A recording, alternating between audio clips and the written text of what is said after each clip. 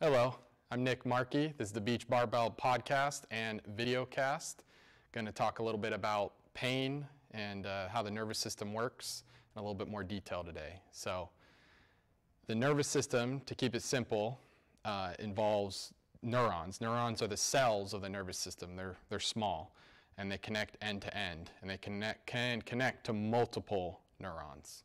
So, a nerve would be hundreds, thousands of those neuron cells wrapped up in a tube, okay? Your sensory nervous system delivers information from your body, so like your knee, up through your spinal cord, and then eventually into your brain. So, how pain works is that sometimes this information will trigger something, maybe in the brain, to decide that you should feel pain. Um, think of pain as your brain's alarm, threat system. It's trying to make you pay attention to something, whatever that, whatever that is. So, brief overview of the sensory system. You have the initial neurons that connect into things like um, your muscles, your ligaments, your tendons, your skin, in the joints, certain areas, and then those neurons go up to the spinal cord, and then they interact at a few different levels in the spinal cord, and then they connect to another neuron that then goes up the spinal cord into the middle of the brain, center of the brain, an area called the thalamus. Then that area, it's sort of a relay center, fans it out to whatever else needs to uh, hear this information. So you basically have three chains one connecting to the knee, then connecting into the spinal cords. So that's chain two, spinal cord up into the center of the brain, and then connecting from the center of the brain out to the sensory centers or whatever other centers need to hear this information. So pain doesn't exist until the brain decides it to be. Okay? So a simple example could be little kid is climbing on monkey bars, falls down, maybe breaks his wrist. He's holding it tight, protecting it. They go to the doctor, they do an x-ray, it's broken, we need a cast. They put on a cast, maybe the kid picks green because that's his favorite color. And within a few minutes, that kid is running around like nothing happened, probably chasing people with his cast. So he felt pain because, you know, he had something, a threat that his brain was getting information about. So there were neuron signals going danger, danger, danger, and then getting into the spinal cord, danger, danger, and then eventually in the thalamus, danger, danger, danger. Kids probably experiencing pain. They put the cast on, right? We've addressed the threat, we've dealt with the situation. Now the brain, the, the, the, defense system, the pain system, may not find it necessary to have pain. So he's still got a broken bone. There's still danger signals going down the, going up the chains. But once they get up to here, the system says, you know what? We get it. We've taken care of the situation. Another simpler situation could be you get a cut on your arm. You know, you feel something stinging on your arm, you look at it, oh, I got a little cut there. So maybe you clean it off, put a band-aid on it. Usually you don't feel that cut again unless you start really messing with it. So again, you still have danger, danger, healing, danger, but you've taken care of it. So there are also other situations where people maybe don't have a, an area like something called the phantom limb pain. So somebody that's had an amputation, doesn't have a foot or toes anymore. But they can oftentimes get what's called phantom limb pain, where they feel pain in that foot that they don't that doesn't even exist anymore. So why does that happen? You know, are there signals coming from the neurons that are left and then up into the body and saying danger? Perhaps. Is there other things going on? You know, especially since when they feel the pain, they don't feel it in the remaining limb, they feel it actually in air where the toes would be if there were toes. So kind of a weird situation. So, you know, perhaps the brain not getting the regular information that it used to is sort of freaking out and making you check on what's going on with their foot. I'm not getting information from the foot. Check it. Please check it. Check it. So that is in a situation where, you know, there technically isn't damaged because there's nothing there, but someone is feeling pain. Uh, and then there's also issues where people have something called diabetic, diabetic neuropathy, and that's where the neurons in the foot, maybe the hands, uh, they don't work as well or work at all, and so you don't feel anything. So you're not getting those danger signals. And so oftentimes they won't feel anything in that foot. They're not, they don't have the signals coming from those neurons anymore. Um, and so they have to be very careful and check their feet often, make sure they don't have an injury or some sort of uh, wound or something that's not healing, because then that can turn into a situation where they might need an amputation. So lots of little weird scenarios on all ends of the spectrum. And ultimately, if you look at pain not so much as damage, but look at it as more of threat, it makes a whole lot more sense. It makes more sense when you have a stressful situation and suddenly you're, you're getting all this pain in your neck and your shoulders. Well, that doesn't mean there's damage in your neck and your shoulders, but there's some sort of threat. You know, sometimes when people have long-standing pain in an area, maybe like their back, when they start thinking about doing things with their back, like picking something up, or they even watch somebody pick something up, sometimes they'll start to feel it in their back. You know, their, their, their system is sort of running through some sort of threat, you know, the alarm system going off.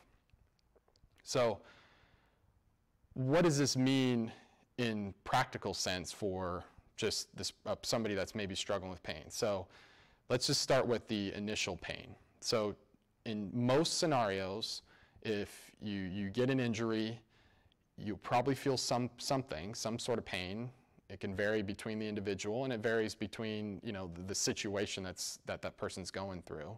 So potentially the more supportive of a life and situation that person has, potentially the less pain they might feel. They might have, feel less overall threat. Whereas on the flip side, someone has a far more stressful life, uh, a lot more things going on that are affecting them, they have perhaps a greater chance of maybe feeling more pain in this situation, more threat overall. But typically that beginning pain, what they call acute pain, will start high, kind of peak, and then gradually go down. And oftentimes it's kind of like this, like it'll be up and down as it overall is getting better and better. And then over weeks, months, sometimes years, it tapers off. Unfortunately, some people, you know, maybe 10, 20, 30% of people, that pain, it'll taper off and then it'll kind of stay up like it won't necessarily be going down. It'll probably be up and down. Sometimes it goes down and then months later comes back up. So you're thinking, am I injured again or what's going on? So it's like got flared up. That's the term people usually use. Um, and we wouldn't know per se that yes, this thing was re-injured. You know, that's usually the term that is used, re-injury. But it's hard to say, was the actual tissue, wherever you're feeling that pain, was it actually re-injured or for some reason did, did the neurons, the nerves that service that area all the way from the ones that are hooked into them at the, at the base all the way up through the spinal cord into the brain are somewhere in those in that area are, are the neurons more sensitive? We don't know all the time that answer. So the practical application would be whatever that area is you know, that you're feeling the pain, you, you want it to be more useful in your life. You probably want to feel better, but you also want it to be more useful. So you can look at two sides of the coin. You have just general function of that area and how well it feels, right? So the most optimal situation is function is high, pain is nothing or, you know, or very, very minimal, right? You know, another situation might be function is high, pain is about the same, you know, another one function high, pain high, and any combination of that. So when you're trying to perhaps recover from this, if you consider pain being damage, the problem with that is that you'll oftentimes feel a lot of threat from the pain, as opposed to taking a step back and looking at the pain as another variable within the situation. It is an important variable and it's one you should pay attention to, but it's not the only thing. So, how I usually will do it is let's start with easy stuff. You know, say that's the back. You know, someone has um, long-standing back pain. Let's start with easy stuff. You know, something maybe with the arms, something with maybe the legs, maybe something very light with the back. Let's just see how it reacts to that. Let's test that over the next, you know, over the session and then over the next day. If by the next day the person isn't feeling drastically more pain, I usually use the words tolerable or acceptable. So was what you experienced tolerable and or acceptable during and then as well as later on, you know, that night, the next day? If the answer was yes, then we'll try something a little bit more challenging with the back. So being very systematic, so doing, you know, almost, it's basically like an experiment. You try one variable, test that, see how it reacts. If it reacts okay, you know, whether pain goes down or at least at the, at the most stays the same. We don't want it, you know, tipping high for them, you know, because um, then that could mean we've irritated something that's already sensitive. Then what, from there, if it's at least not worse, then you can try to up the challenge or the function a little bit. And then over time, you know, the idea would be let's improve this function piece by piece while still managing wherever this pain goes. Now, yes, we would absolutely love it if that pain went way down, but we cannot ex expect that to happen. You know, it's really uncertain what it's going to do because oftentimes it does this, and oftentimes it'll do that regardless of what you do. You know, lots of patients and clients in my past have talked about how, yeah, I could do nothing and I can have more pain, and then sometimes I'll do more things that I think would cause more pain, but they don't. It doesn't cause more pain. Sometimes the pain's better. So it's sort of random, which is tough because that really plays on your mind because you don't know where to predict it. But if you kind of focus on the function while monitoring how the pain reacts to what you're doing, over time, it'll hopefully look like this in terms of your function. Be up, gradually going up like that. And there will probably be setbacks, you know, two steps forward, three steps back sometimes. Um, but as long as you're focusing on that function while managing the pain experience, you're going to ideally have an improved quality of life because you'll be able to do more with your body and yourself.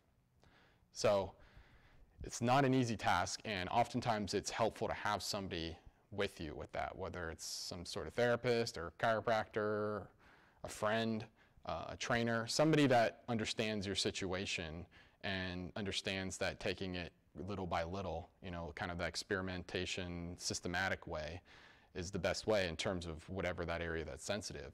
I mean, if, if you only have one particular area that's sensitive and all the other parts are pretty good, well, then you could push the other areas, you know, probably more so, but that one particular area, whether it's your back or shoulder, neck, knees, whatever the area is, you know, you probably want to just be very gradual with that. I found that that oftentimes, you know, will, one, improve function because that's what you're focused on.